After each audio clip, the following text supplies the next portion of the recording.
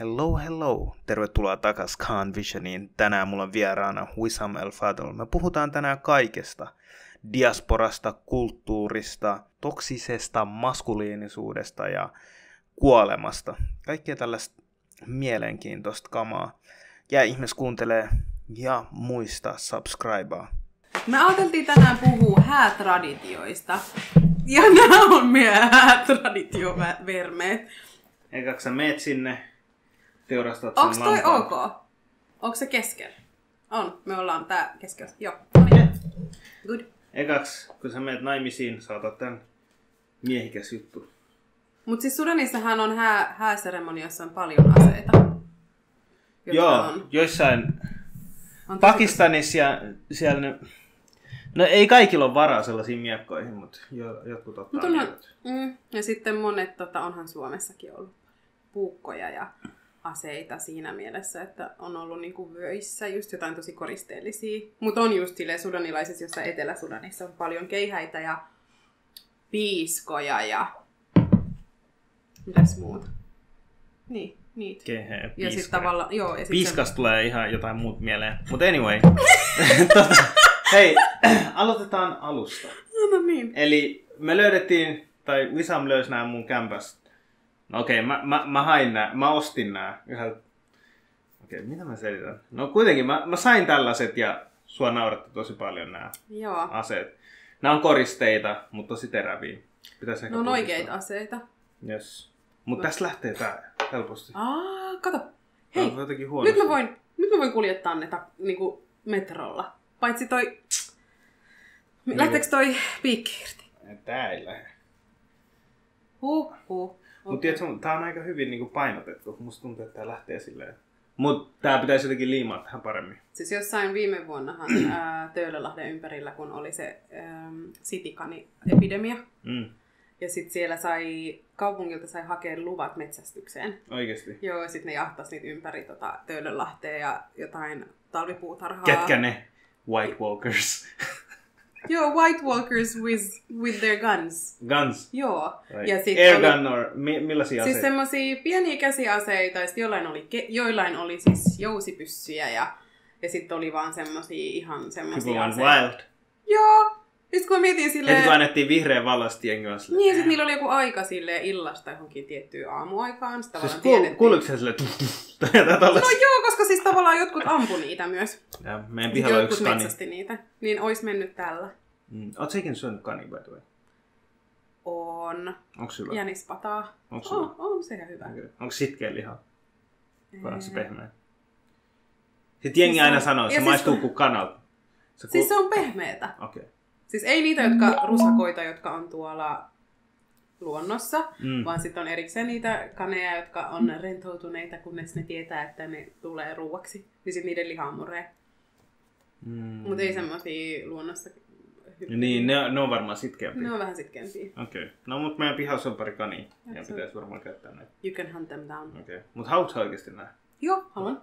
Jos sä haluat oikeesti. Mä en tiedä, miten mä siis kuskaan ne. Sun pitää tuoda ne joskus. Alright. Tai...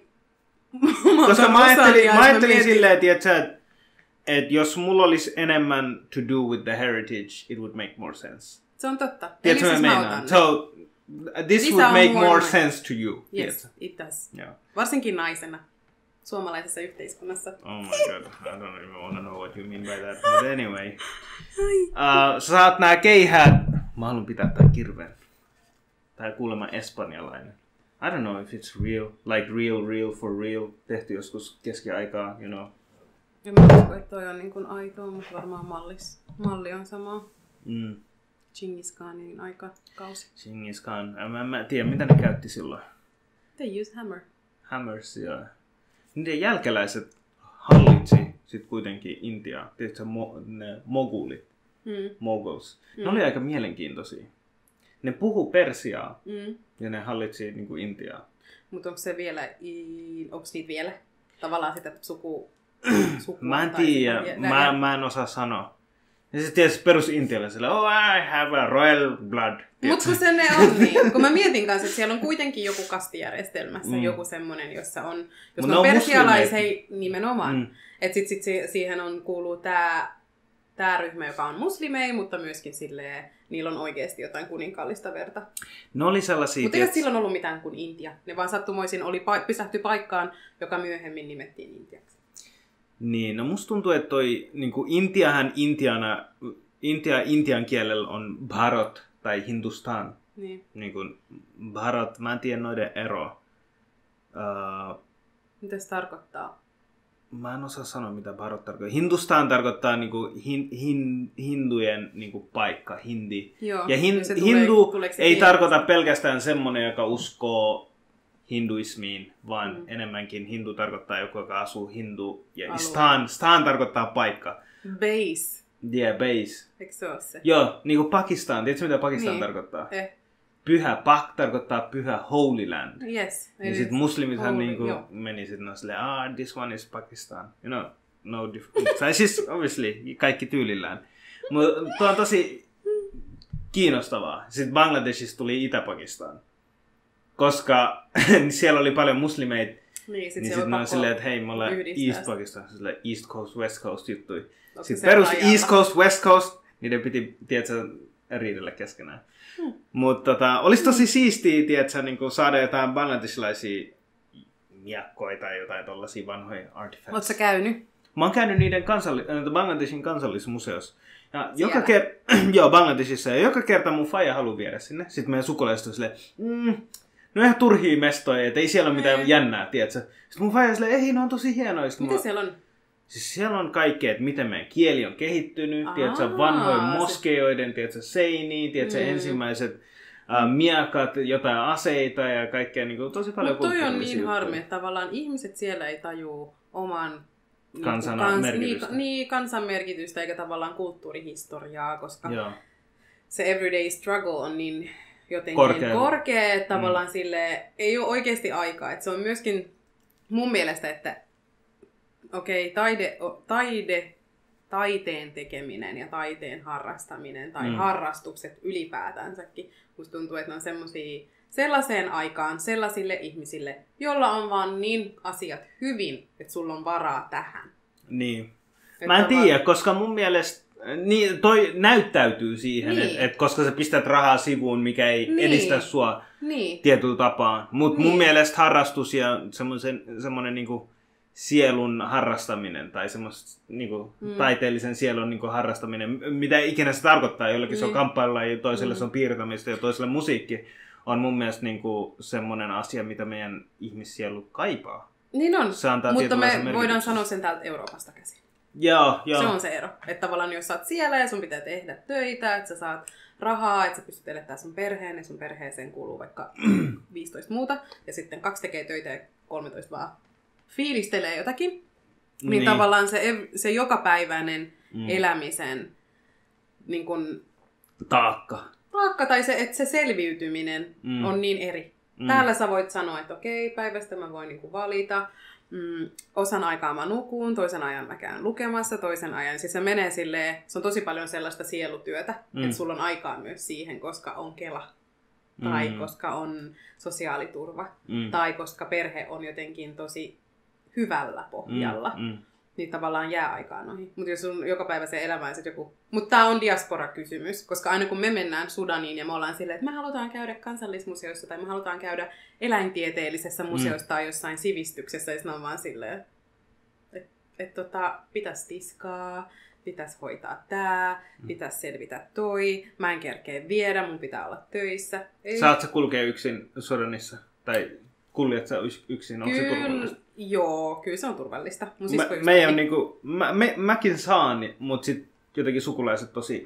Mutta siis Ei ei sen- tuntuu, ei että oo siellä ei niinku- ole sellaista, siellä ei ole sitä Mm. mm. kulttuuri ylipäätään olisi turvallista tai ei Mm. tällä hetkellä, mutta siellä ei ole sitä kul- kulttuuria, että kuljetaan yksin. Niin, niin. Jo, siis sama. Niin kuin, ei sen takia, että mä oon mies tai nainen Niin. tai niin edelleen. Mut, Et siinä on aina semmoinen joku semmoinen kaveri mukana. mm, Okei, okay, just in case, jos tota, jotain tapahtuu, niin sit hänestä on hyötyä toivottavasti. Mm. Mutta tota, ei se ole tavallaan ainoastaan siitä syystä, että se ei ole turvallista. No mulle sitä myydään turvallisuusjuttuna enemmänkin. Niin kuin muut sukulaiset, mä oon tosi Joo. huolissaan. Siis joo, Sä siis oot eurooppalainen, mummi- ne meidän- kidnappaa sut, no leikkaa tää. sut 12 osaan ja niin edelleen. Joo. Mä oon silleen, että joo, mä en syntynyt eilen, tiedätkö, kyllä mulla on jotain niin Mutta toi on ehkä sama, mitä meidän mummi sanoi meille. Se oli silleen, että joo, että vaikka täällä on turvallista kaikki muut tytöt liikkuu itekseen, mutta silleen, että kaikki tunnistaa, kun te avaatte teidän suun, että te ette ole paikallisia. Että vaikka te oot, näytätte samannäköisiltä ja te Mm. tuutte toimeen, te tiedätte kadut ja te tiedätte paikat, Mm. mutta heti kun teillä on joku tietty intonaatio teidän Mm. puheessa, tai te ajattelette, Mm. vaikka te puhu, puhuu täydellisesti arabiaa, mutta teidän tapa ajatella, miten te puhutte sen, niin sitten ne ei Mm. mm. tajuu saman tien, että te ette ole täällä. Mm. Mitä pitäisi tehdä? Viittomakieltä. The solution. olla vaan hiljaa ja sitten semmoinen... Mun siis mun perusilme Jotenkin jossain, me... jossain matkoilla ja Sudanissa mä oon vaan silleen pettynyt kaikkeen ilme. Sellainen Niin, on, seriously? Pä- Koska jos sä, jos sä sanot sen ääneen, se Mm. on vielä pahempi. niin. Sitten sä oot vaan silleen, mä en edes aio keskustella Se on vähän niin tästä. kuin tietyllä tapaa, että älä erotu massasta. Joo. Ja taas Euroopassa, en mä tiedä, onko tämä vaan ehkä subjektiivinen kokemus. No täälläkin meillä on sitä, että me ei haluta erotuta, erottua joukosta, mutta sitten tavallaan se, sitä katsotaan rohkeana, että okei, toi erottuu joukosta. Mm. Sitten niinku, ehkä Bangladesista katsotaan silleen, okei, toi on hullu. Tiedätkö, niinku, enemmänkin silleen, Mm. okay, he got some issues, but it's okay. Tiedätkö? Se kertoo sen We'll get you. siis välillä We kun... will get you in line. Joo, Soon. joo, joo, joo, siis... Huta tee isäntä ja Mä äiti. menen Bangladeshiin sit kun ne kuuntelee joskus mun juttui Mm. ja sit ne on silleen, yeah, that's, uh, that's interesting. Tiedätkö, jos mä puhun siitä, että hei, miksi, miksi te kohtelette vaikka huonosti jotain työntekijöitä, tiedätkö, jotka Mm. tekee duunia himas Mm. vähän niinku... Uh, Toi on toi... Maid. Joo, maid. Mä- kotiapulaisia. kotu, kotiapulaisia. Mä silleen, että hei, kohdelkaa niitä hyvin. Mm. Sitten no, sit mun serkku on silleen, että kuuntele, mä haluttais kohdella niitä hyvin. The moment sä alat kohdella niitä hyvin, ne ei, enää, ne ei tee enää duunia, tiedätkö? Mm. Et, et, et, niinku... Mutta toi on, musta tuntuu, että tämän meidän puheenvuoro tänään voisi käsitellä vaikka diaspora-issuita.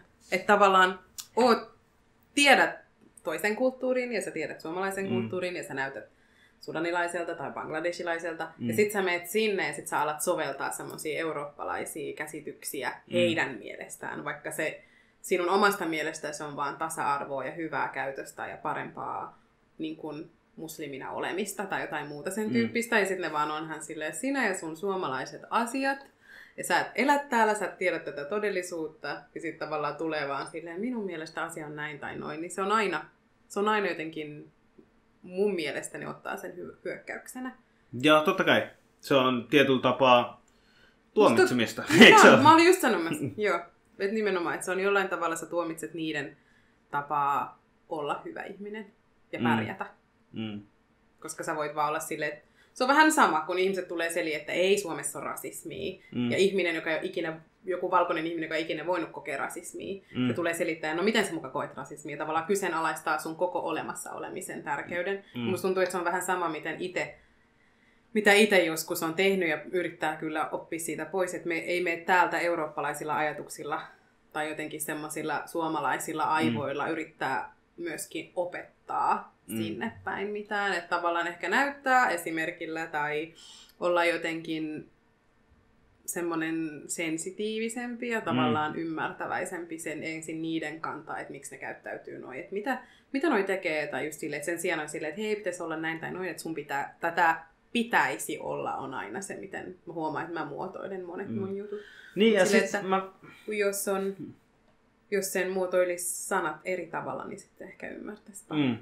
Mutta mä veikkaan, että on semmoinen asia, niin kuin, että miten jokainen pystyy samaistuu siinä mielessä, että kun sä meet, meillä on erilaisia kulttuureita, olkoon se vaikka toisen kotikulttuuri, meillä on kotona Niin. erilaisia tapoja ja niin edelleen. Ja sit, Mm. jos joku tulee, sä Mm. tuut tänne ja sit Mm. kyseenalaistat, että mun huonekaluja.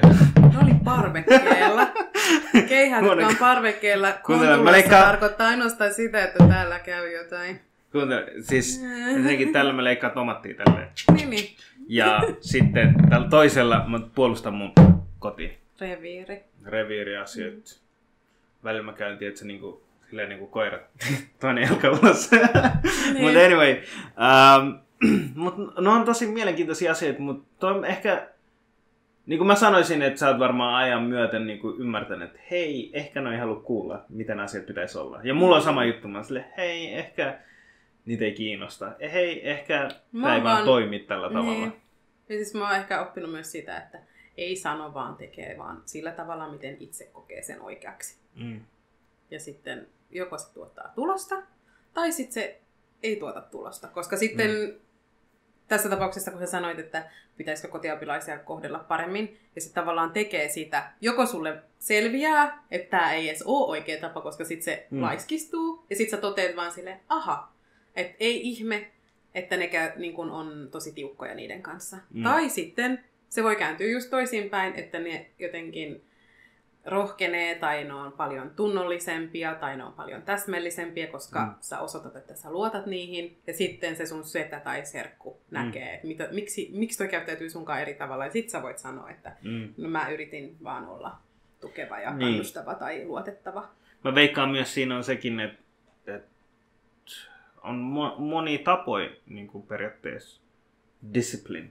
Niin. Tiedätkö, niin kuin, että mi- discipline on suomeksi tota, Kuri. kuri. kuri. Kuri ei ole vaan fyysinen rangaistus, vaan si- Niin. siinä on henkisiä aspekteja. Jos sen Niin tekee on. oikein, ja jos Mut sen se on pystyy hyvää motivo- johtamista. motivo- Niin, hyvää johtamista Se on ylipäätään. niin kuin hyvää johtamista. Meidän kulttuurissa ei ole mitään hyvää johtamista. Meillä on vaan diktatuuri ja kuritus.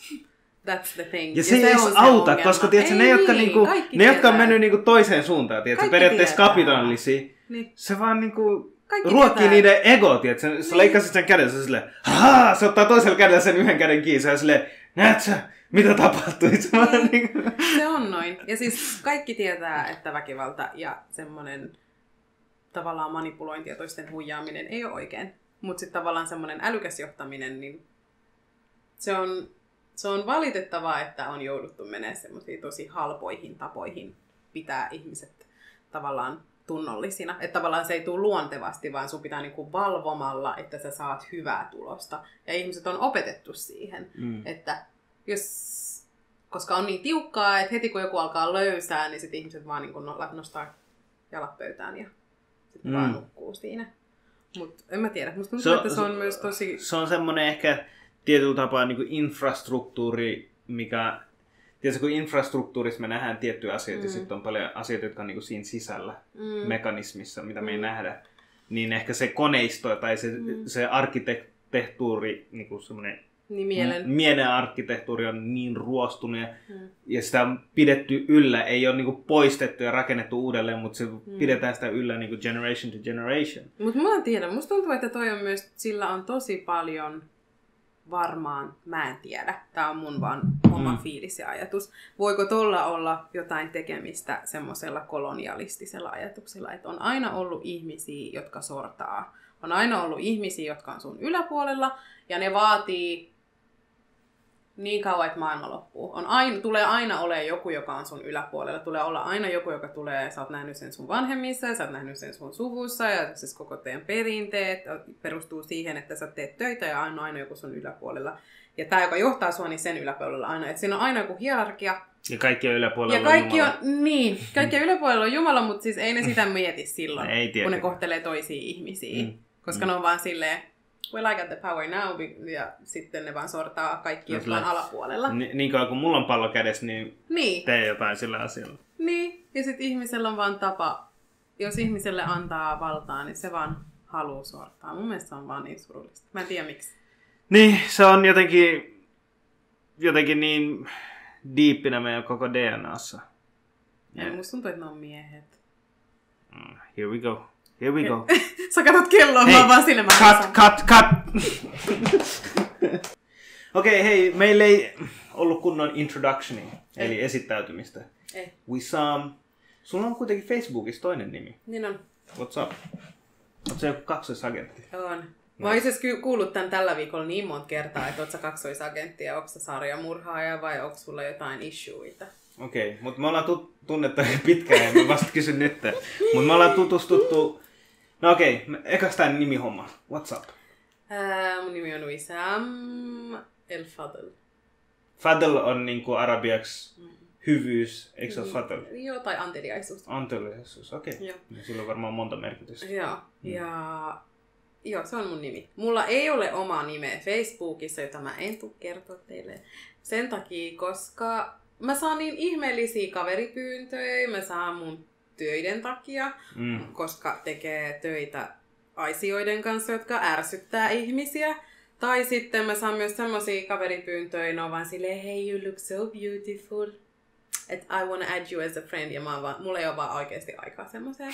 Mä haluan pitää mun propaganda Facebook-sivuston anonyyminä. Mm. Että ne, jotka tietää, niin ne tietää, ja ne, jotka ei tiedä, niin, niin sitten ne ei tiedä. Ja siinä on syy, miksi ne ei tiedä. Ja niillä on syy, miksi ne ei tiedä, koska sitten, joo, kyllä ne tavallaan ne, jotka tietää, ne kysyy multa suoraan, ja sitten mä voin lisätä sen. Minä yleensä niin lisään sen, koska sitten mä näpyttelen sen. ja sit- Joo, mä muistan eka kertaa, mä silleen, hmm, Joo, mun siis se kyllä antaa... eri.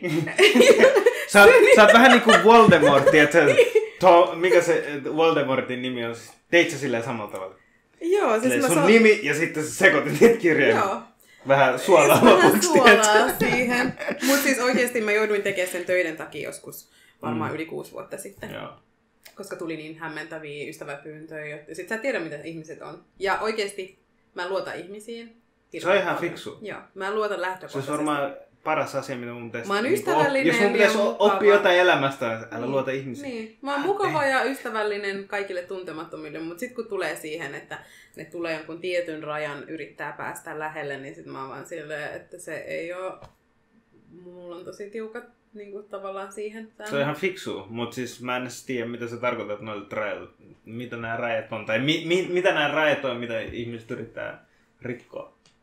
Ei, siis ne yrittää vaan niinku tulla tutuiksi, tuttaviksi ja Aa, ystäviksi. okei. Ja, Niin, ja niin, sitten niin, mä niin. oon vaan silleen, mulla on tosi hyviä ystäviä, mulla on mun perhe, mä tarvii enempää. Mm, Mä tiedän ne ihmiset, jotka luottaa muhun ja mä tiedän, kehen mä luotan. Jos sä osoitat jotakin ja mä luotan suhun, sit se on luontevaa, että päästään lähelle. Mutta sille täysin random tyyppejä, niin plus, että se voi johtua myös siitä, että ihmisillä on myös tosi eri tapoja käyttää sosiaalista mediaa. Niin, ja niin, mä niin. oon tosi tarkka siinä oman Mm. yksityisyyden kanssa. Mä en, mä en kauheasti lisäile omia kuvia tai laittele mitään semmosia omia henkilökohtaisia tai yksityisiä jotain, että hei, söin tänään makaronilaatikkoa, ty- no okei, toi on tosi tyhmä, mutta silleen, Mm. että mitä ihmiset Usko sataa. pois, siellä on jotain tyhmempääkin. Niin on. Ja sitten mulla joskus tulee silleen, hei, olet, nostetaan tämmönen muisto, mitä olet kirjoittanut 2013, ja sitten katon sitä sille ja häpeen silmät päästä, että Mm. kuinka yksityistä se on saattanut olla. Käynyt matkoilla tai lis- lisännyt kuvia tai jotain muuta, mutta siis nyt aikuisuus on ihan hyvä. Tietää. Joo, siis mulla on tullut samanlainen, mä voin samaistua sam- samaan tapaan. Mm. Facebookissa, ähm, no mä käytän ehkä Facebookia vähän eri tavalla. Mm. Et siellä on kuitenkin äh, mun henkilökohtaisia kuvia. Mm. Se on tietyllä tapaa, mun mielestä se on semmoinen astetta a- alempi kynnys niin kuin LinkedInista. Mm. Mä en Et- käytä LinkedInia. Joo.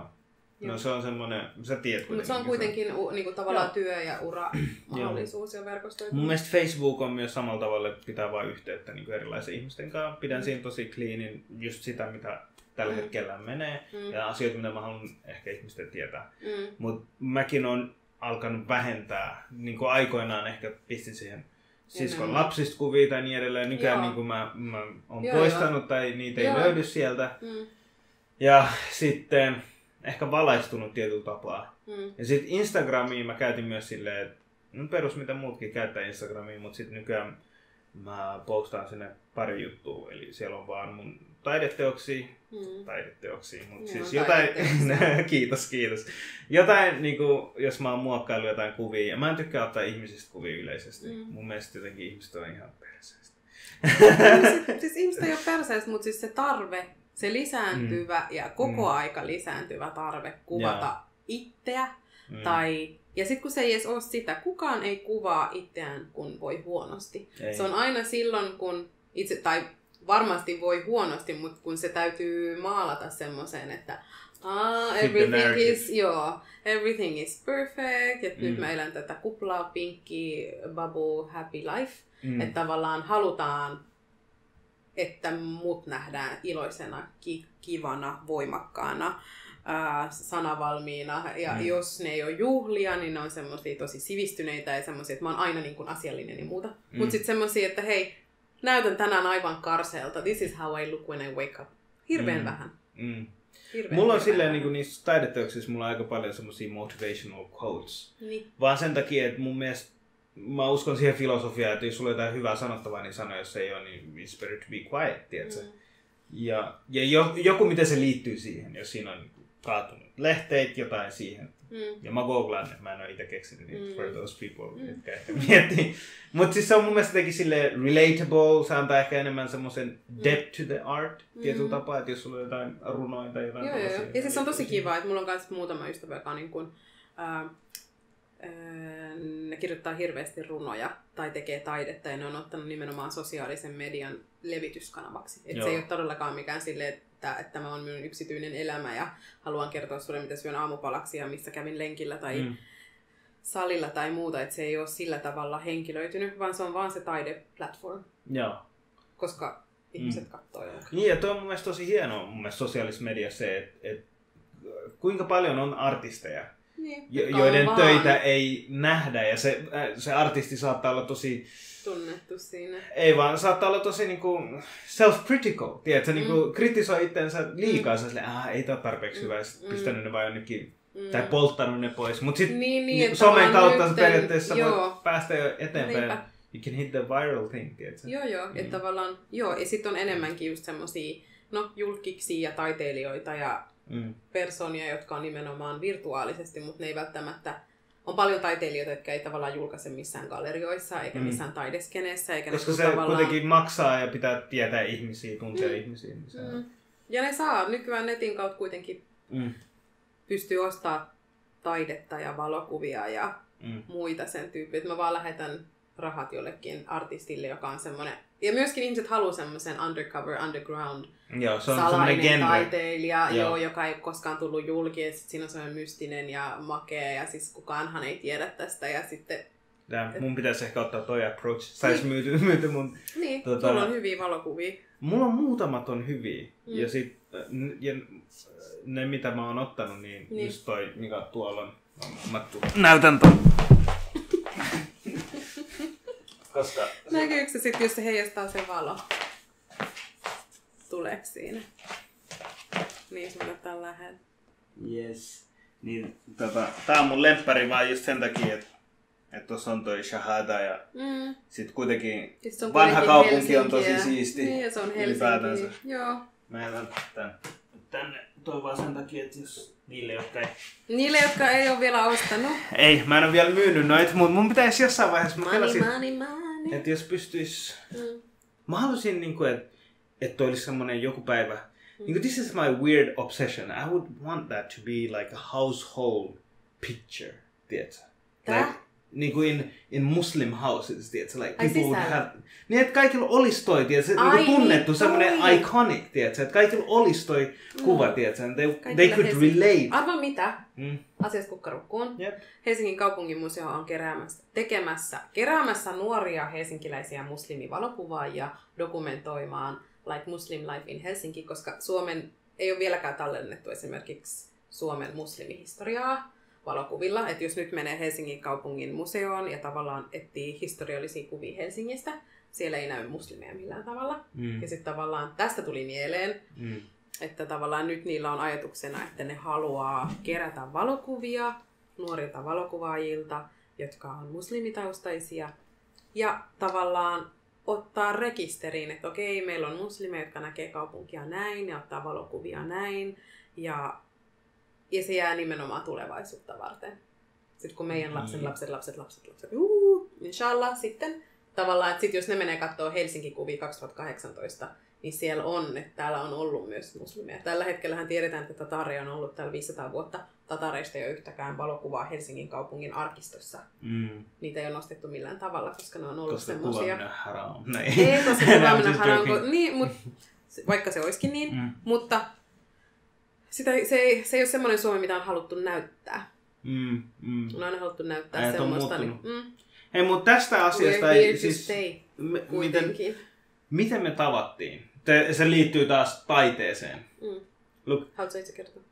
Mun mielestä on parempi, jos sä kerrot, mutta me voidaan täydentää tai tälleen niin kuin asioista. Mä vaan haluan sanoa sitä, että mä en, I'm, mä en koe itteni artistiksi silleen oudolla tavalla. Tai silleen, kun mä ajattelen artistia, mä ajattelen niin kuin superstar, niin kuin oma, mm. oma, omalla kategorialla. Mm. Mutta se, missä me oltiin äh, tekemässä sitä projektia, niin kind of made me feel like an artist in a, in a, in a good way. No tiedätkö? mä nyt kerron. Yes. Helsingin kaupungilla oli kaikille tiedoksi Helsingin kaupungin sosiaalitieteiden laitoksen hanke, jota rahoitti koneensäätiö. Ja siinä oli musliminuoret ja resilienssihanke, tutkimushanke, joka piti tutkia vain, mitä helsinkiläisille musliminuorille kuuluu. Mm. Ja se oli taideprojekti. Ja sitten siellä, siinä me tavattiin ekan kerran. Mm. Ja se taisi tulla silloin Adam, Adamin kanssa. Joo, Adam Adam. Joo. Ja silloin me nähtiin ekan kerran. Yes. Ja silloin etittiin just helsinkiläisiä muslimitaustaisia nuoria. Ja tavoitteena joskus, silloin ei vielä tiedetty, että se on näyttely. Mm. Jos jollain tavalla käyttää taidetta ja ehkä tulla ulos, ehkä ei, ja se oli teidän päätettävissä, mitä te haluatte tehdä. Ja sitten siitä mietittiin, että mitä, mikä taiteen ala on sulle tuttu ja Mm. Ja mi- luonteva ja mm. muuta. Ja sitten sä halusit valokuva, tai sä valokuvasit. Ja Joo, mä, mä valokuvia. tulin toist, niin mä tulin Adam Adamin kautta, kun siinä oli tota, muista se Henry. Joo. Niin Henryn kautta me tehtiin tällaisia Haastatteluja. haastatteluja. Joo. Ja sitten mä vaan avauduin siellä huolella ja sit, sit mä kerroin, että mä aloin Halpa valokuva- terapia. se on oikeasti terapia Se avautuu. on aina halpa terapia, kun joku kyselee. Hyvä, kun kysyit. Itse asiassa everything. Itse asiassa hae kahvia, koska it's gonna be a long session. Niin, mutta niin se on hyvä. Joo, se, mutta siis äh, Henry kanssa nautti, Mm. ainakin niin se sanoi mulle. Mä halusin muuten Henryn kanssa Se lähetti muuten paljon terveisiä. Ai, ootteko te paljon Mä törmäsin, joo, mä törmäsin siihen mun töissä ja se tuli käymään. Joo, meistä Se tuli frendejä kanssa, Niin, tiedätkö, in a weird way. Niin, se kyseli hirveästi, että oot sä nähnyt muita ja mä olisin, että mä oon puhun sun Man, it was kanssa. good times, pitää kyllä sanoa. And I Niin. enjoyed. Ja me kaikki oltiin niin erilaisia, jotka oltiin siellä. Kaikki Niin. me muslimit oltiin tosi erinäköisiä, tultiin erilaisista taustoista. Mm. Ja varmaan harjoitetaankin ihan uskontoa ihan eri tavalla, Mm. but we had fun. Tiedätkö? Joo, se oli- ja mä tykkäsin tultiin kanssa. sinne yhteen. Ja se oli kyllä, ja nimenomaan siinä oli tavoitteena, että se on niinku teille, Mm. Että rahaa oli tavallaan haettu teille tekee sitä taidetta, mitä te haluatte, ja sitten puhua niistä aiheista, mitä te halusitte, ja sitten teitä oli, mutta teitä oli viisi, viisi miestä, vai onko teitä enemmän? Et miestä minä, Brede, Joo. Adam, oliko Adam kanssa? Joo, Adamkin oli kanssa, ollut joo. siinä, ja sitten oli... oli Hunde oli. Joo. Sitten oli Sitten oli Usama, mm, Usama. ja sitten sen ystävä graafikko, jonka nimi on... Mm, Periaatteessa ne oli niinku yhdessä. Se oli yhdessä. Joo, Joo, se, sen nimi oli kans Wissam, eikö se ollut? Es, Esan, Esan. Esa, joo. Joo, Esan. Joo. Niin te olitte siinä, Mm. ne miehet, oli saman verran naispuolisia, Joo. naispuolisia tota, taiteilijoita. Se Mutta mun kuva- mielestä mä pidin teitä kaikki kyllä taiteilijoina. Kaikki oli vaan, se oli, kaikki alkoi silleen, no en mä nyt oikein tiedä. Kaikki vaan sieltä, siellä avajaisissa loisti siellä. Jep. Se oli tosi makea. Mut siis pakko kyllä sanoa. Ja sitten kun se oli vielä kaunista, että et kaikki ei lähtenyt tekemään samanlaista, vaan kaikki teki ihan erilaista. Mm, Niin eri laidas laitaan. näkökulma ja Videoit, sulla oli nukkeja, jolle. Tehtiin vaatteita ja sitten oli niinku sitten oli runoja, sitten oli valokuvia. Vaatteita. Oli, joo, ja, runoutta ja joo, kaikkea mahdollista. joo, joo, joo. Ja sitten oli grafiikkaa ja Vitsi, sinne tuli kyllä paljon jengiä. Siis avajaisissahan mä muistan, että sinne tuli joku 150 tyyppiä. jotka Mä en saanut avaja- yhtään baklavaa. Still remember it. Mä söin vaan jotain tosi kuivaa croissanttia, mulle tuli hikka ja mua ärsytti se. Mut me ei oltu varauduttu niin moneen. Mm. Ja se oli silloin Stoassa. Mm. Siihen Turun näyttelyyn tuli vähemmän, mutta Turun näyttelyyn tuli enemmän koululaisia muistaakseni. Koska se oli, tai suhteessa enemmän, koska se oli paljon lyhyempi aika siellä siirtolaisuusinstituutissa. Ja sitten Mm. mulla, oli, val- mulla oli koko päivä aikaa opastaa niitä. Mm. Niin Stoassahan niillä meni, oli tietyt aukioloajat ja mulla oli työajat. Niin, niin, Niin, niin. tavallaan se oli tosi typistetty. Vitsi oikeesti mulla tuntuu tosi pahalta, että mun frendi halusi kerran tulla sinne ja sit, sit mä luulin, että se on sunnuntaina. Se oli just se sunnuntai, Aa. siellä ei ollut ketään. Oi ei! Ja sit mä oltiin silleen, että joo, se tuli sen tyttöystävän kanssa ja halusi näyttää. Sitten mä olin silleen, Mutta, niin. tuolla ne on, Tuolla ne on. Jos olisi, niin jos, Niin. niin. Ja jos sit on mulla oli jotenkin jälkikäteen- muutenkin vähän huono päivä, mä en tiedä miksi, mutta Mm. jotenkin me säädökset. Mm, Tiedätkö se fiilis, kun sä joudut juosta kahteen kolmeen paikkaan samaan aikaan? se on ärsyttäviä. I wish I could clone myself sometimes, tiedätkö? Mä oon myös tosi huono siinä. Mä aina heti kun se on Ja liikaa sit kun sä sopit, sovit jonkun asian kanssa, se opiskeli vielä Vaasassa. Ah. Niin se, että se pääsee tulee, tulee niin se tänne. oli tosi säätö. Se niinku, oli ainoa mun frendeissä, joka oli tosi kiinnostunut tästä asiasta. Et mä olin vaan niinku jakanut tälleen perusti, että mm. somessa ja stories ei käykää mm. chingaa sit. Mm. Se oli oikeasti mennyt sinne. Mm. Siis mulla oli pari kaveria, jotka, tuli, jotka ei ollut, vaikka se oli sieltä Stoasta tosi pitkään, niin ne ei ollut kerennyt sinne. Ne tuli niinku Turkuun asti silloin, kun oli siellä ne Dedication. Dedication, friendship, se olisi loppunut kyllä siihen, jos ne ei olisi tullut. Hei, se Turun tapahtuma oli kanssa aika chilli. Mm. Mutta mä tykkäsin jotenkin se enemmän siitä, siitä tota, Stoasta. Mun mielestä se on semmoinen niin, siis galleria. Tilana. Niin, tilana. Jep. Joo, joo. Mm. Ja se on. Joo, siis se Stoan galleria on makea tila. Ja se, se, ja se niinku, tehtiin sinne. Se on tosi hipsterimainen. Niin on, mutta se tehtiin sinne se näyttely. Mm. Ja se, että se meni Turun siirtolaisuusinstituuttiin se oli johtuvaan sattumalta. Mm. Ja sitten myöskin siitä, että se, se Maria, joka oli siinä mm. hankkeenjohtajana, sai sieltä työpaikan, niin sitten se tavallaan sai varattua sen tilan. Mm. Mm. Ja sitten sitä kautta.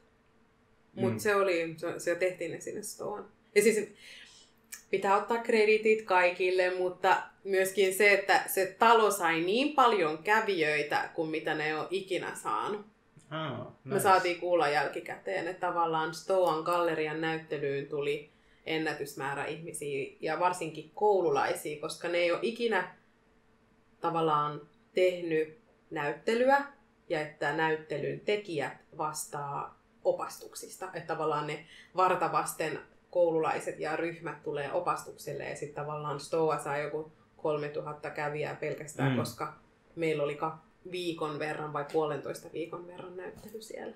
Mm. Se oli tosi lyhyt aika. Mitä se, se oli tosi lyhyt aika. Ja Joo, mutta se kävi ihan sikana jengi. Mä, mä, ja mä koen, että se on... Se olisi niinku tosi hyvä. Tai siis mä koen, että siinä on niin paljon hyötyä. Ei sen takia, että mä oon muslimi. Mä veikkaan, että niinku muidenkin uskontojen pitäisi tehdä tällaisia samanlaisia Musta asioita. tuntuu, että muslimien enemmän ja enemmän kuin muslimeja on Suomessa. Mm. Ja meitä muslimeja on niin erilaisia. Niin, niin, niin. Ja me vaan valataan kaikki instituutiot. Mm sitten kun me ollaan kaikissa instituutioissa sisällä, niin sit meitä varten ei tarvitse tehdä näyttely, vaan we own the city siinä mielessä. Mm. Että tavallaan sit se tavallaan, koska toikin toi on tosi tärkeä, mm. mutta toi kertoo myös siitä, että kuinka alkutekijöissä me ollaan. Edelleen mm. me joudutaan tekemään näyttelyn kertoa islamista. Hemmetti niitä muslimeja on ollut täällä niinku 500 vuotta.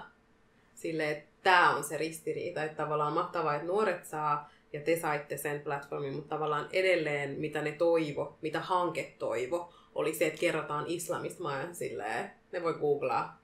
Mm. Mutta siis sille aiheet on, ne teidän aiheet oli tärkeämpiä.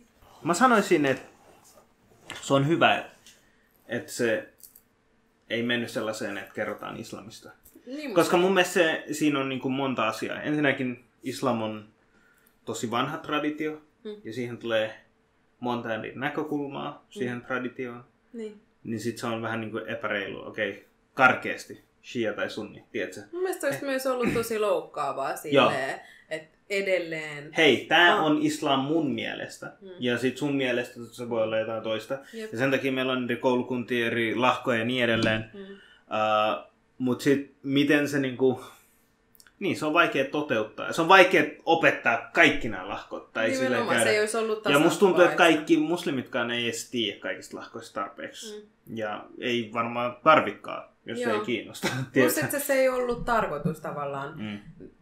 Ne halusi, että siinä voidaan käydä niin kun, keskustelua islamista, mm. mutta mä olin vaan silleen, joo, no mutta islamista, jos me aloitetaan yksi suunta, sitten on nämä niin tämä, sitten joku tulee selittää tätä, mutta sille, että miten esimerkiksi sun teoksissa puhuttiin hirveän paljon valokuvaamisen tärkeydestä, ja sitten on jotkut muslimit, jotkut muslimithan on sitä mieltä, että valokuvaaminen on haram, että tavallaan mm. siinä heti kyseenalaistettiin joku semmoinen tosi tyypillinen tapa, mikä mm. oletetaan mm. muslimeista, tai että ää, just sitä, että miten Helsinki nähdään, mm. tai kuka on helsinkiläinen. On mm. paljon semmoisia asioita, mikä liittyy siinä muslimina olemiseen. Se on mm. itsestään selvää, että mikä islam on mm. joillekin. Jokainen tekee sen omalla tavallaan ja harjoittaa omalla tavallaan, mm. mutta se, että on muslimina Helsingistä, niin se tekee meistä kaikista niin kuin uniikkeja mm. siinä tavalla. Mm. Mun mielestä on tosi jännää, niin kuin, tai siis mä oon tosi paljon kiinnostunut just islamilaisista eri koulukunnista ja noista logiikoista, koska fiqh, eli mm. äh, mikä on fiqh suomeksi? suomeksi? Hyvä, hyvä. Tota, onko ne tavallaan tulkinnot? Se on tietyllä tapaa tulkinta. No se on tietyllä tapaa tulkinta, mä Niin, sanoisin. musta tuntuu, että se on tulkinta. Tulkinta, jo- johon perustuu lakioppia tietyllä tapaa. Mutta se ei ole sellaista lakioppia, että leikkaat on vasen jalka, vaan enemmänkin, että miten pitäisi suorittaa rukous, miten pitäisi suorittaa. Siihen kuuluu kaikkea mahdollista, että Mm. miten pitäisi syödä, miten pitäisi Niin, käydä siis se on vessassa ja tapa. niin. Tapa, ja Tapoja se on ja niinku tapa. tosi ihmislaki ylipäätänsä, mihin niinku liittyy kaikki, mitä ihmiset tekee. Mutta anyway, niin mä oon tosi paljon kiinnostunut näistä. Ja sit, esi- siinä on tosi jännä juttu, että jos joku sanoo jotain asiaa haramiksi sanotaan, Mm. niin se on tosi vaikea Se undo. Ei kun siis tosi vaikea ottaa se haram label pois. Sanotaan just kuvaaminen, right? Nimenomaan, mutta kun se on just se, Mm. jos joku sanoo, että, että valokuvaaminen on haram tai äh, tekemällä tämä on haram, se ei ole enää keskustelu. Niin se ei esimerkiksi ole mä, enää joo, keskustelu. mä annan se on sulle tois... silleen, okei, okay, Niin, niin, niin. Sorry. Se on maalikoille yksi juttu ja sitten se on toinen asia, niin kuin, että mitä niin kuin, uskonnolliset auktoriteetit niin haluaa näyttää, että hei, mulla on valtaa. Tai, en mä tiedä, ei val- välttämättä, mutta on ehkä miten mä koen sen asian. Mutta esimerkiksi sanotaan, valokuvaus on kompleksi asia. Se, siihen liittyy, että okei, ei saa piirtää ihmisiä. Tai että on jonkun tulkinnan mukaan. Uh, mutta sanotaan esimerkiksi, että sä, jos sä teet wuduun naisena tai miehenä, jos sä käytät että sä kynsilakkaa, niin sun wudu ei hyväksytä. Mm. Right? Ja sitten ne on tehnyt nykyään sellaisen halal nail polish. Mm, So kuullut. basically, että siitä lähtee vesi välistä. yeah. Mä seuraan just henkilöä, uh, Mufti Abu Leithi, niin se oli silleen, niin kuin, että uh, profetan aikaan ei ollut nail polish. Mm. Tiedätkö? Ja sitten se niin kuin järkeilijä äh, niin kuin kertoi itse oman versionsa ja sanoi, että, niin kuin, että tämä on tosi absurdi. Että me ollaan vaan otettu sen siihen, koska fikhis on määritelty tietyllä tavalla sen asian, Mm. mutta se ei ole suoraan tullut niin kuin profeetalta tai Jumalalta, että hei, että tämä ei Niin. onnistu. Ja sitten esimerkiksi sitä, että no sunneilla meillä on se, että äh, tiedätkö, kun tehdään se rukouspesu, niin Mm. jos sä oot tehnyt aikaisemmin ja sulla on sukat, niin sä voit vetää sen sukan päältä, niin kuin, miten se kutsutaan, Niin sä voit sivellä siitä. sivellä siitä. Niin miksei pystyisi samalla tavalla tehdä niin kuin from, for a nail polish? Joo. Niin, et, tossa on niinku asioita, mutta siinä on taas se juttu, että älä kyseenalaista, mitä aikaisemmin ollaan sanottu, koska ne ei voi olla mitenkään väärässä. Vaikka se henkilö, joka asuu aikaisemmin, niin siinä saattaa olla vähemmän tietoa, miten tietyt materiaalit ja niin edelleen. Tietenkään, ei, se, ei, totta kai kukaan, Mm. ei me nytkään voida tietää, että mikä teknologia tulee olemaan tulevaisuudessa. Mm. Ja miten joku teknologia tulee muuttamaan muslimien elämää Mm. 100-200 vuoden Mm. päästä, jos me ollaan täällä. Jos me Että katsot- tavallaan sit me ollaan, onko meillä vaatteita silloin. Mm. Ja sit Ja, me, jos me katsotaan tää ylipäätään se menee? niin profeetan niin tapa toimia ja antaa näitä ää, neuvoja. neuvoja, oli aina, tiedätkö, tehdä asioista helpompia. Mm. Ja, sit, Mm. sit niinku mä muistan, että oli yksi henkilö, niin se oli janabassa, eli periaatteessa pitä, hänen pitäisi käydä suihkussa, jotta Mm. pystyisi tehdä perusrukouspesun. Niin tämä henkilö äh, oli marssimassa varmaan jonkun sodan jälkeen ja Mm. se ei oikein tiennyt, mitä pitäisi tehdä, niin sit on teijemum, eli rukouspesu, minkä sä pystyt tehdä ilman, ve, ilman niinku vettä, Mm. käyttämällä vettä. Niin tämä henkilö luuli, että jos mun pitäisi käydä nyt suihkussa, niin pitäisikö mun nakuna niinku kieri, kieri niinku, äh, tuossa niinku Hiekassa. hiekassa. Mm. Ja se teki sen. Ja sitten sen jälkeen tuli profeetan luo ja silleen, hei mä tein tämän. Mä sovelsin mun omi järkeilyä. Oliko toi ok? Ja se profeetta sanoi, että ei, ei sun olisi tarvinnut tehdä tota. Tiedätkö, se vaan nauraa ja se sanoi, ei sun olisi tarvinnut tehdä tota. Mutta kun toi on mun mielestä silleen, mikä tämän ajan... Mutta toi on totta. Mutta tuossa huomaa mm. myös sen, että, että jos uskonnosta tai mistä tahansa oma, Mm. niin kun, ihmiset, ihminen on vaan, se tykkää niin kompleksisista asioista. Mm. Mitä enemmän sä teet asioita monimutkaisesti, Sitä hienompi sitä se on. hienompi se on. Mm.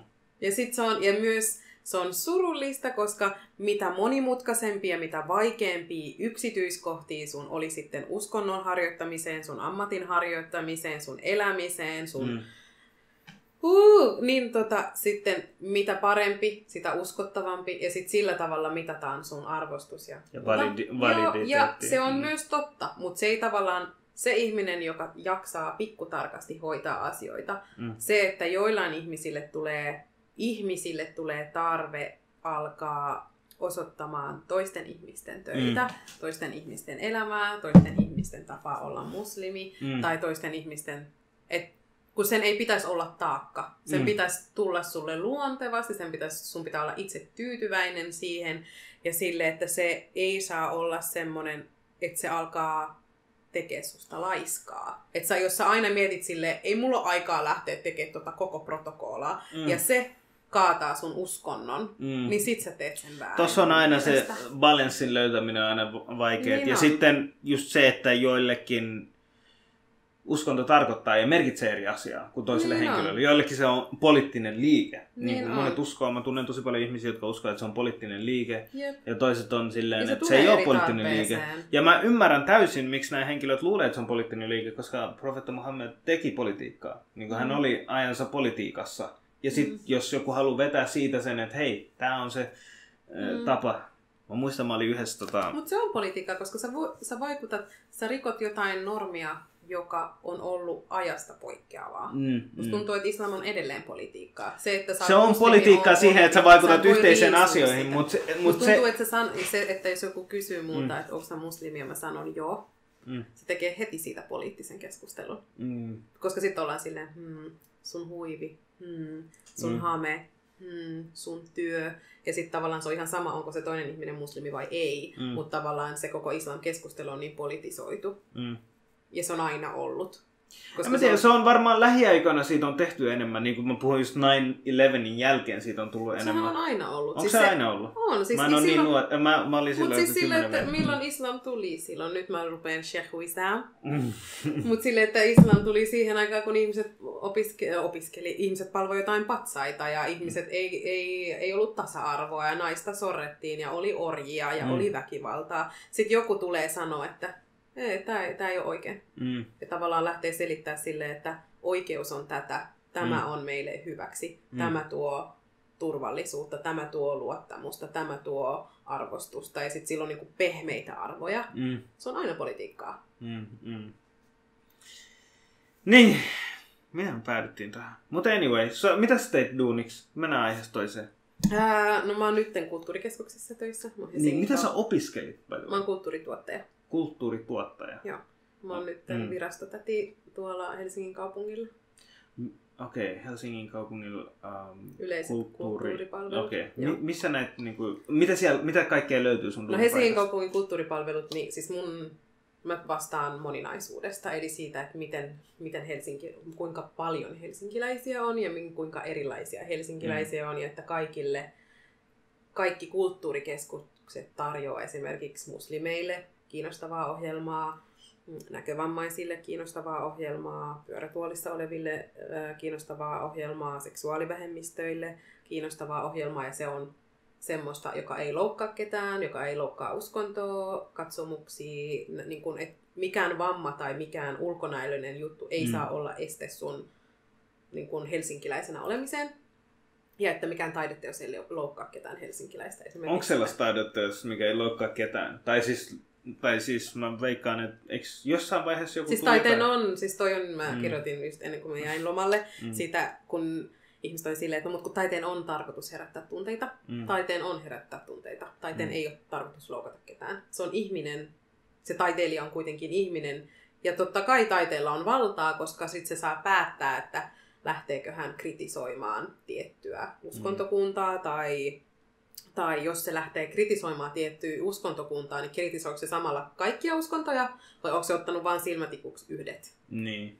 Ja tavallaan miten se tekee. Ja avaako Mm. se keskustelu hyvää keskustelua vai onko se vaan ainoastaan väkivaltaista ja Niin. tavallaan Mutta toikin perustuu niinku ihmisten niinku tulkintaan, eikö se perustu? Tai siis tulkintaa ja siis taiteilijan tulkintaa ja. Niin on. Ja on semmosia, ja on totta kai on taiteilijan vapaus, mutta sitten on semmoisia selkeitä sääntöjä. Meillä on laki, joka on yhdenvertaisuuslaki, Mm, joka on, ja sitten meillä on kaikki semmoiset tasa-arvolaki, mm, joka tavallaan määrää, missä menee tavallaan.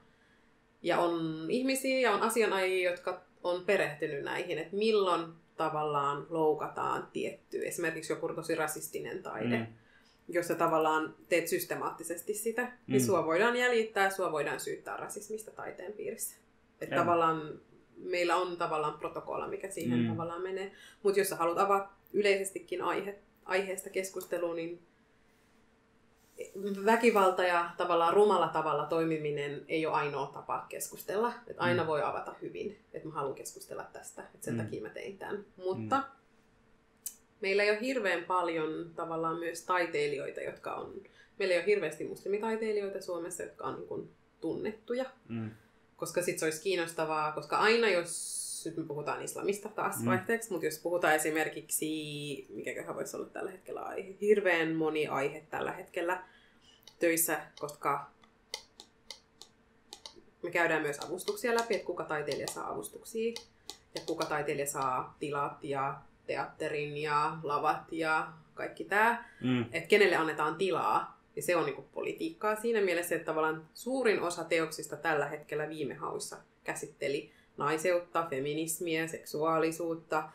Ja ne on aina on tietty aika ja tietty trendi siinä mm. mielessä. Ja sitten pitää näistä katsoa, hmm, miten tämä on tehnyt aikaisemmin sen työt, onko niistä tullut jotain keskustelua, onko ne ollut ongelmallisia, onko ne ollut hyviä keskusteluja, onko joku toinen kulttuurikeskus rahoittanut sen toiminnan, onko se ollut tavallaan luotettava henkilö, ja sitten tavallaan valitaan sen mukaan, koska aiheita pitää keskustella, ja se on aina tärkeää, mutta mm. se, että me osataan tarjoa laadukasta, mm. niin se on, mitä mä teen työksi. Mm. Aika kompleksi. Silleen niin kuin, se on kompleksi. Se on aika kompleksi. Mutta se on tosi Mut paljon... toisaalta sun pitää oikeasti nauttia siitä, että... En. Mä menetän mun työkota. Ei, kyllä sä varmaan nautit siitä. Joo, se, mutta se, mä huomaan myös, mm. että, että se on tosi emotionaalista työtä. Joo, se on. Koska, se on tosi ta... koska se tavallaan, kun mä perustelen, että tämä teos on, ei ole hyvä, mm. niin mulla on tosi vahva intuitio, mihin mä uskon tosi vahvasti, koska sitten mm. mä osaan kes, niin kuin esittää suoria kysymyksiä, että mm. mitäs tää tai mitäs toi, tai ootteko te, mistä teidän rahoitus tulee. Ja sitten monet ei uskalla kysyä näitä kysymyksiä, sitten jos siinä on yhtäkkiä käy jotain tosi rumaa, sitten mä oon vaan silleen, no mutta se vaikuttaa siihen, että pystyt sä jatkamaan tai muuta. Mutta se on, se on tosi emotionaali. Se ei ole mm. semmoinen toimistobyrokratia, että mä hakkaan vaan Exceliin näin, mm. ja sitten mä laitan toimisto-oven kiinni, sit voi mennä himaan. I mean, sä voit tehdä sen on... homman silleen, mutta sit sä et tee sitä oikein. Niin. niin. Ja mm. siis minä olen semmoinen, joka on tosi per... analyyttinen niin, ja tosi ajateltava. Mun mielestä sen niin. takia ehkä ne haki sut siinä. Tai sä oot siellä sen niin. takia. Sit... Hei, mulla tuli mieleen tästä taiteesta. Ähm, mikä siinä tennispalatsi? Onko se tennispalatsi? Hamissa. Hamissa. Mä kävin siellä. Meillä oli sellainen kuin um, pyöreän pöydän keskustelu. Tommi Laitio Ai, joo, siis niin kaupunginjohtaja. Se, niin. Öö, No se on esimerkiksi meidän, meidän ylijohtaja siinä. Niin, niin, niin sehän on... Niin Ei ole kaupunginjohtaja. Mikä sen tehtävä? Se on vapaa-ajan ja kulttuurin johtaja. Alan johtaja, Joo, yes. tosi cool tyyppi. I really like him. Um, not that way. But anyway, uh, siis... Why tot... not? Why not? Maybe one day. Näin. Uh, tota, niin Tommi Laitio py... kutsui niinku erilaisia tyyppejä. Mä olin yksi mm-hmm. niistä sinne pääsin yhden hankkeen kautta. Yes. Ja tota, siellä oli se, mikä se taideteoksen Gilbert and George. Gilbert. Oh se oli vaan niin semmoista. Mitä sä ajattelit siitä? En mä tiedä. Mä ajattelin siitä, että jos mä en ole käyttänyt LSD, mutta jos mä käyttäisin, olisikohan se jotain tollasta, tiedätkö? siis se oli jotenkin ne värit vaan silleen, sä oh, hold on, tiedätkö, niin what's happening here, tiedätkö? Mm. Ja Siis mulla on tosi vaikea sanoa, koska mä, mä näin niinku vasta-argumentteja, mä näin argumentteja, mä näin vasta-argumentteja. Mä silleen, what is happening here? Et mm. niinku, et mitä tässä yritetään sanoa? Ja sitten mm. joitain mä älysin. Mm. Esimerkiksi no, uh, no face, uh, fascist jo- zone, se Joo. kuva. Mä niin pistin sen mun Instagramin mm. kanssa. Niin sit, uh, se, se herätti aika paljon silleen, niinku, että uh, periaatteessa, jos sä vihaat natseja, ja natsit vihaa jotain muita, niin periaatteessa hän on niinku sama cycle of hate. Niin Tiedätkö, se on sama asia, mm. mutta se on vaan niinku eri aate, ja mm. sen perusteella tietyllä tapaa... Kävit sä katsoa niin sen jälkeen, kun sä olit katsonut se, että minkäla- minkälaisia tekijöitä ne on? Kiinnostuit siitä? Ketä ne on ja mitä, minkälaista... Niin, meillä annettiin tietynlainen briefaus, ja sitten se oli tosi vaikea saada siitäkään irti. Että mi... Oliko teillä opastus siinä? Joo. Okay. Tommi itse niin kuin, opasti meitä siinä. Oho. Tai silleen niin oli sen vetäjä, sen mm-hmm. jutun vetäjä, sitten antoi semmoisen pienen presentationin. Että Ketä siellä, mistä te, niin kuin, mikä oli tavallaan aihe? Rohkeus. Okei. Okay. Ja sitten me puhuttiin rohkeudesta. Ja... Tosi kiva. Mä oon silleen, niin kuin, että hmm. mä en tiedä, miten se liittyy täysin suoraan rohkeuteen. Mä ymmärrän silleen, että, mutta eikö taide aina ole sellainen, että se on tietyllä tavalla rohkeat, että sä heität jotain. Muuta. Joo. Mm.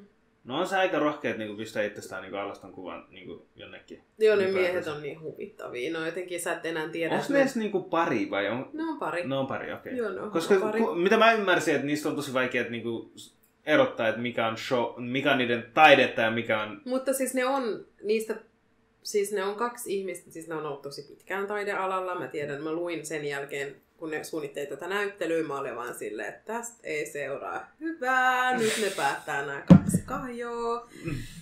Niin, äh, joo, ne on homopariskunta, joka, ne on itse, siis niiden koko elämä on vaan performanssi.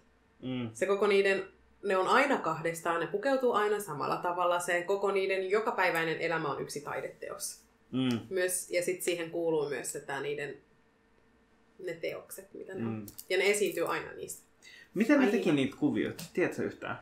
Mä... Ai kuvia. Ai miten tai ne miten, tavallaan... Niin, miten ne teki nuo kuvat? Ne oli ihan hienoja kuvia oli. sinne. Siis itse asiassa niiden haastatteluhan löytyy Hamin Facebookissa. Nehän oli käymässä Okei. Helsingissä silloin avajaispäivänä. Joo. Ja sitten joku oli kysynyt tosta. Musta tuntuu, että ne ottaa valokuvavedoksia ja valokuvia ja sitten ne tavallaan editoi ne tavallaan tietokoneella ottaa sitten erikseen, ja sitten ne tekee kollaaseja ja sitten Mm. ne laittaa värit päälle. Mm. Mm. Että ne on mustavalkokuvia ja sitten ne laittaa semmoiset värit päälle. Sitten tulee vähän semmoinen Andy Warhol-tyyppisiä, Mm. mm. kuvakollaasityyppisiä. Mm. Mm. Et siinä on erikseen valokuva ja erikseen väri. Ja sitten ne on niinku vaan, mm, mitä mä nyt selitän, sitten ne tekee sitten semmoisen kollaasin. Siinä Ne tavallaan ottaa valokuvan tästä ja valokuvan tästä ja sitten ne värjää ne, laittaa ne vierekkäin ja ottaa sitten siitä vielä valokuvan. Mm. Että ne tekee silleen tosi monessa vaiheessa Joo. sen. Mut se on tosi mielenkiintoinen se ylipäätään se taiteen muoto, niin kuin, että miten ne ottaa sen. Joo. Ja Mutta siellä on tosi paljon tekstiä myös. niin siinä on tosi paljon tekstiä ja sit mä, mä en tiedä, Ne on mulla on niinku skidin lukihäiriö ja sit mä niinku oon vaan silleen, okei. Ne oli tosi isoja teoksia. Mm, ne oli kyllä. Se Joo. oli jotenkin... Mä mietin silleen, mä Jos aina mä mietin, kävelisin yksin sen läpi, tietysti, I don't know man. I would- mutta siis mä aina mietin, että mä oon aina niin teknillinen. Mm. Ja sit mä oon vaan silleen, missä lentorahdissa nämä tuli, kuinka pienessä osassa nämä tuli. Mä aloin vaan miettiä, katon silleen, että siinä on lattiasta kattoa. teknistä suunnittelua Niin, siinä. miten ne sai ne tohon, kuka toi on kiinnittänyt, miten ne on kiinnittänyt, kuinka painava toi on. Musta tuntuu, että ne on kiinnostavaa. kysymyksiä tässä, tässä vaiheessa, kun ne on, näyttää siltä, miltä näyttää. Niin oli ihan hienon näköisiä. Mutta mun mielestä ehkä se kiteytettynä on silleen, että ne toi konservatiivisen puolen liberaaleissa ja liberaaleissa niin kuin, Niin, sehän yksi niistä teoksissa Niin. niin. oli just ton tyyppinen.